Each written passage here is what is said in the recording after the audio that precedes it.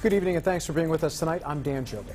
And I'm Jackie Jovic. An SUV with a baby inside is stolen from a Burger King parking lot on Pines Road. Vehicle has been recovered and the child is safe. NBC 6's Shirley Busico spoke with the owner of that vehicle about what happened. She joins us now with tonight's top story. Shirley?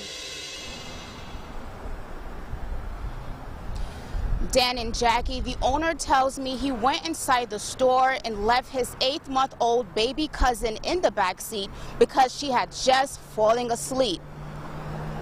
According to SPD, the SUV was taken from the Burger King on Pines Road just after 1 p.m. Police quickly got the word out to local agencies to keep an eye out, and the vehicle was located a short time later behind the Thrifty Liquor on Walker Road. The child was checked out at the scene and was unharmed, and someone was taken into custody.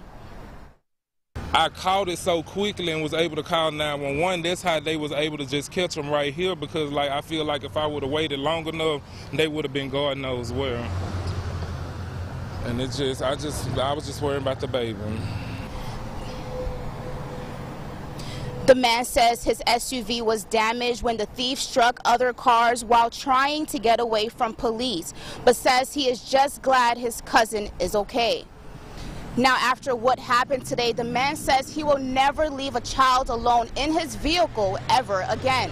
Reporting live in Shreveport, Shirley Busico, NBC 6 News. All right, thank you so much. So glad that the child is okay.